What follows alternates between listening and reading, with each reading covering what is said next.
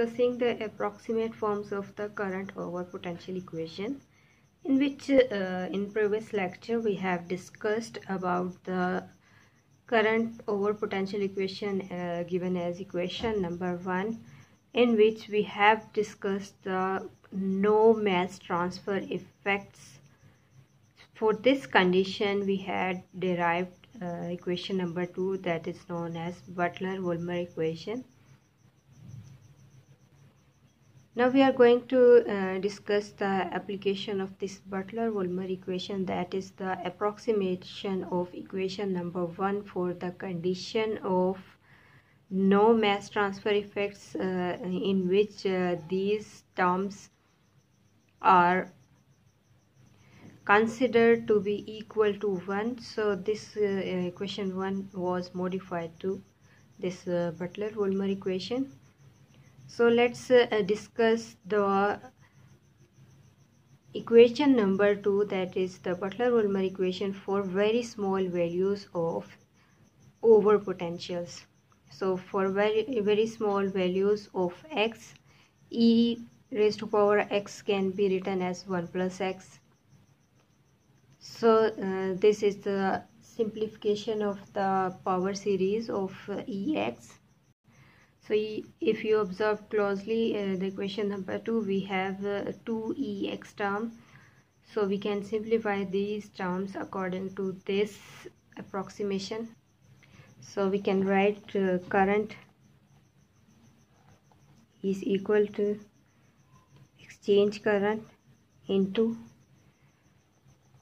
1 plus here we have an x term so we can write as minus alpha and f eta over rt minus 1 plus 1 minus alpha into n f eta over rt so here we can uh, simplify this equation as total current is equal to the exchange current into minus eta f that is nf over rt so alpha term have been cancelled. Here we get equation number 3 which is showing that the net current is linearly related to the over potential when the value of over potential is very small that is near to E equilibrium. As we know that over potential is the difference between the applied potential and equilibrium potential. So this condition is applicable for small value of eta that is actually the very small uh, variation of the applied potential from the equilibrium potential. So it's near to the equilibrium so we are going to uh, apply this approximation for the narrow range of the potential around E equilibrium. So here we can see that the dimension of eta over I is in the dimension of resistance. So here minus eta over i is actually equal to resistance known as charge transfer resistance.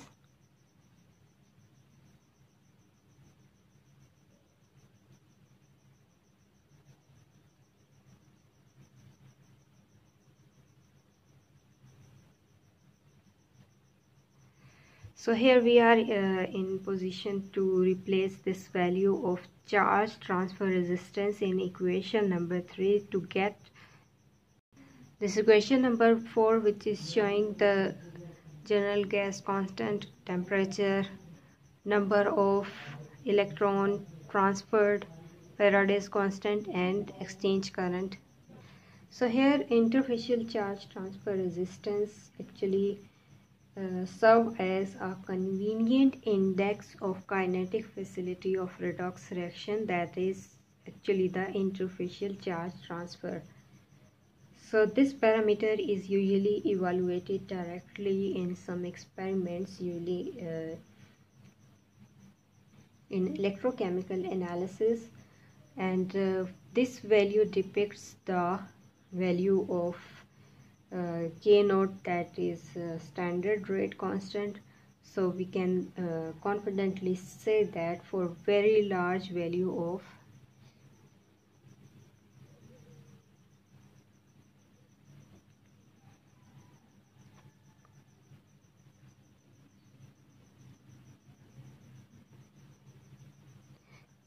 standard rate constants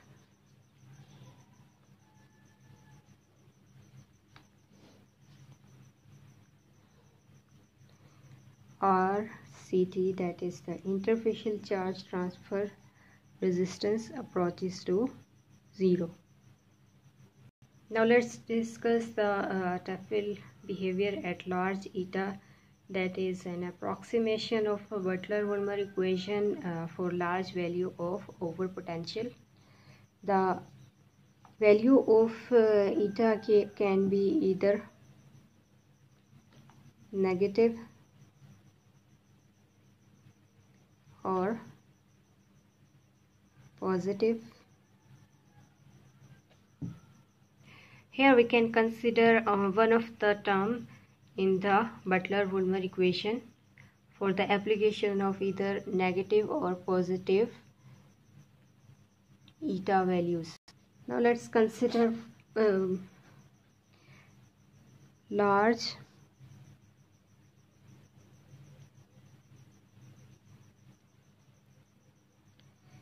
negative.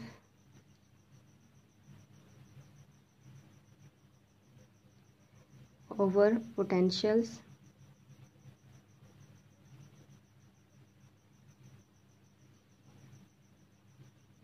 For this case the exponential term that is minus alpha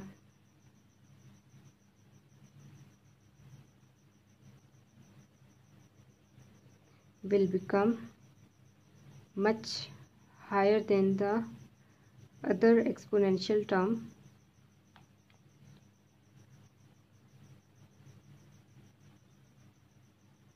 So we can ignore the second term here. As we have uh, discussed the behavior of Butler-Volmer equation in which the uh, first term is showing the contribution of the cathodic component whereas second one is showing the contribution of anodic component. When we are uh, applying very high values of uh, over potentials that is negative so this component must have higher con contribution as compared to the anodic component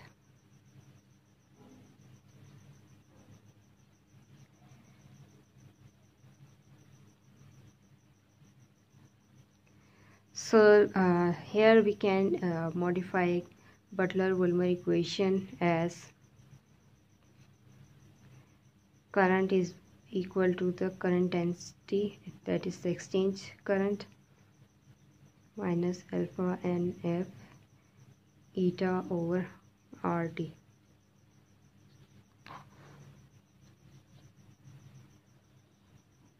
In electrochemistry, we usually study only anodic or cathodic uh, component or sometime uh, in uh, electroanalytical measurements we observe only anodic or cathodic component. As first term is uh, uh, indicating the contribution of the uh, cathodic component it depicts the reduction reaction whereas anodic contribution show the oxidation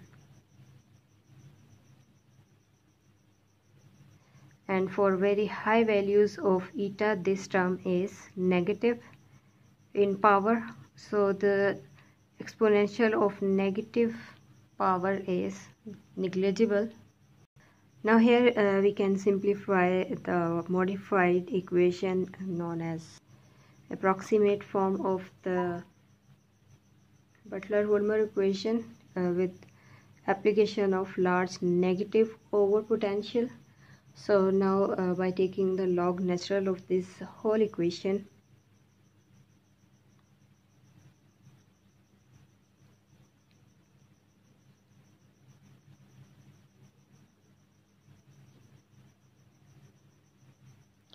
now rearranging this equation we get uh, uh, the modified equation. Now here we can uh, write this equation in terms of the value of eta so eta will be uh, equal to RT over alpha and F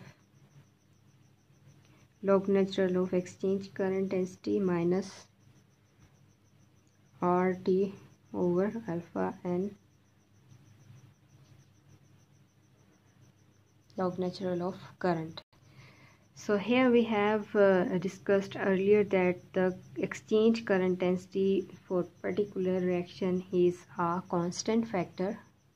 So we can uh, say all these terms uh, in the first component of uh, uh, right hand side are all constants. So we can call it constant a. And here we, these are also constants so we can say constant b. So now we can rewrite this equation as eta is equal to a plus b log natural of i. So this equation is very famous equation known as Tafel equation This equation have been derived uh, using the approximation where the uh, reduction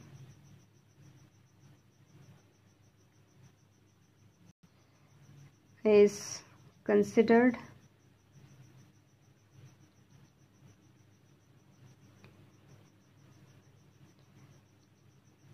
While the anodic contribution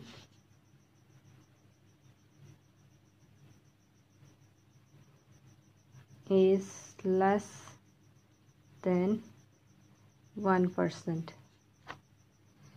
In Tafel equation, the constant A is given as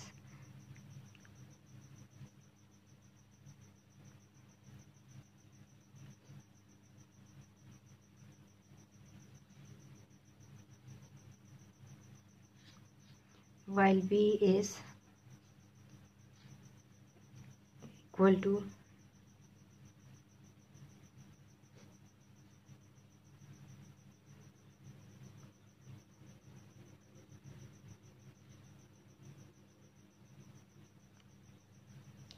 here we can uh, replace the value of uh, RT and uh, F.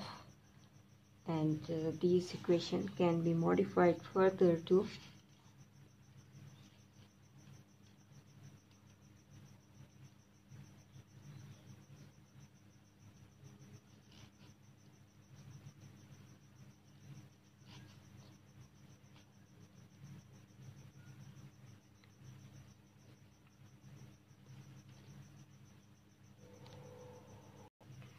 so this Tafel form is uh, expected to hold whenever the back reaction uh, the anodic process when the net reduction is considered or vice versa. So whenever we are talking about uh, any kind of uh, the charge transfer may be due to reduction or oxidation the other inverse process must have minimum contribution so we can uh, simplify.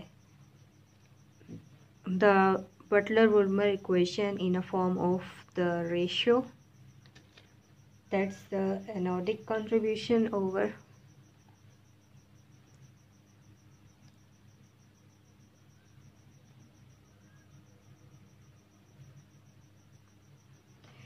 cathodic contribution that is equal to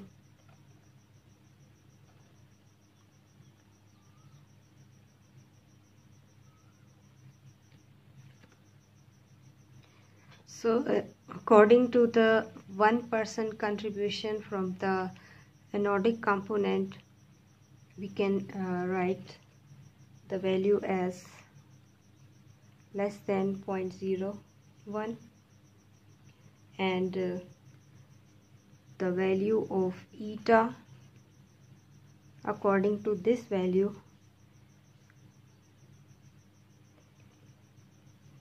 Will be equal to 0.118 over n in volts. So here uh, value of alpha is taken as 0.5 so for value of alpha is equal to 0.5 n is equal to 1 the value of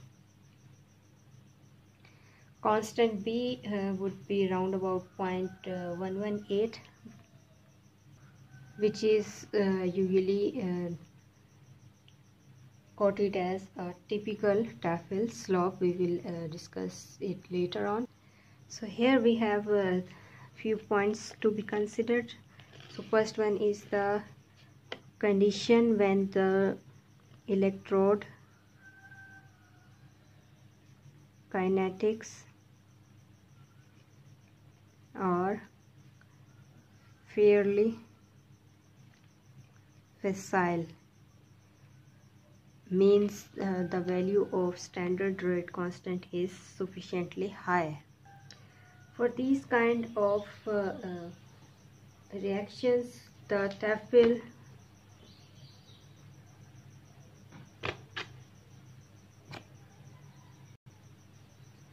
behavior does not fit. Whereas this behavior is perfect for the sluggish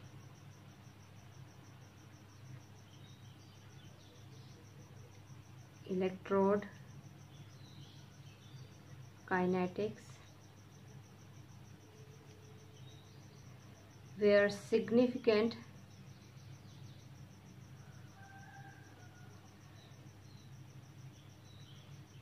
over potentials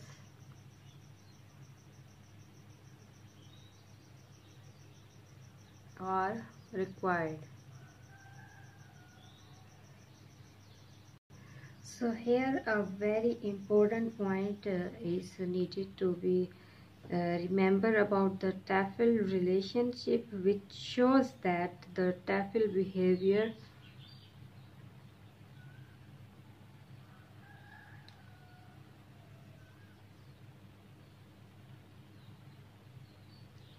is an indicator of totally.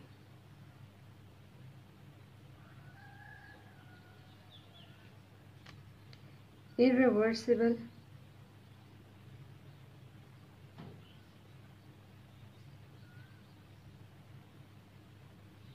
Kinetics. And the system in this category allow no significant current flow except at high over potential, where the Faradic processes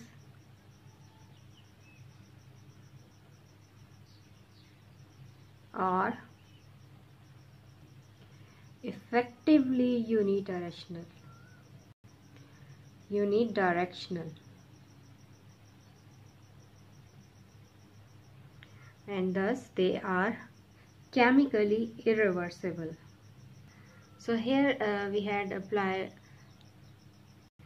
applied the approximation that uh, the uh, reduction or the application of large negative overpotentials were uh, used for the calculation uh, or the derivation of the equation number 6 uh, that is uh, a form of uh, Tafel equation. Similarly, we can apply uh, another approximation that is the inverse of the uh, large negative overpotential that is the application of uh, large positive overpotential for by applying the large positive overpotential we can derive the Tafel equation as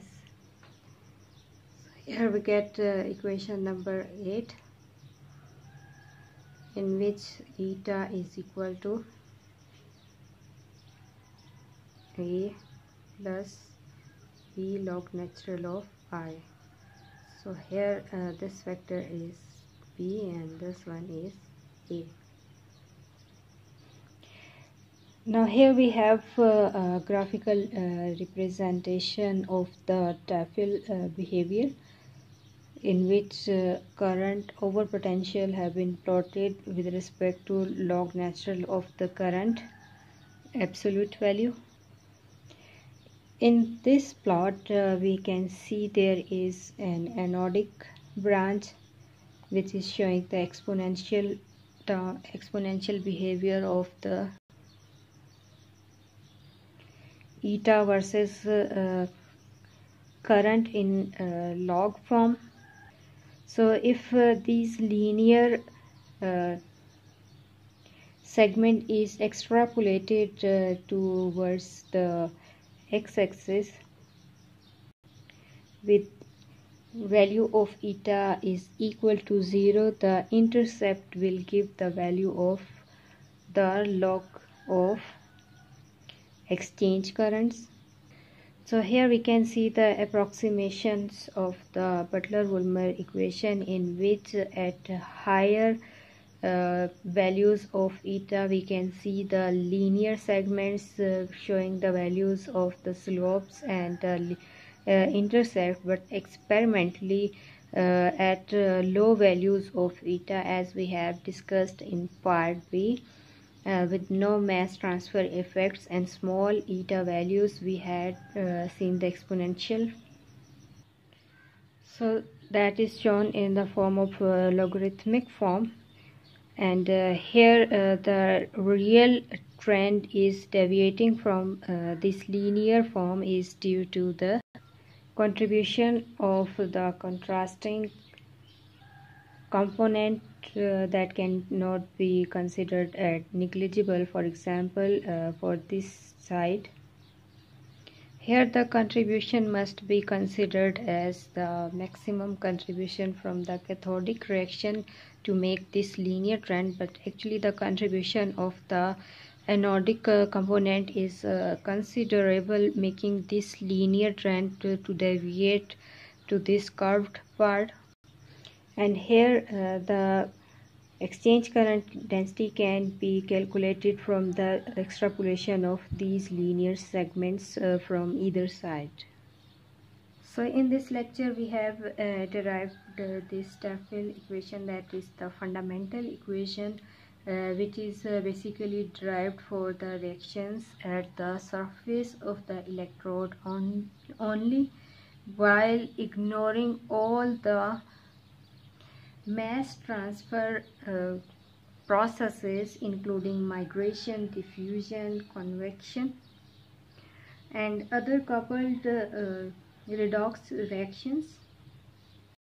So these uh, equations which uh, have been derived uh, in few previous lectures are applicable for the uh, understanding of the kinetics of heterogeneous charge transferred at the surface of electrode through the uh, reduction and oxidation of analyte species.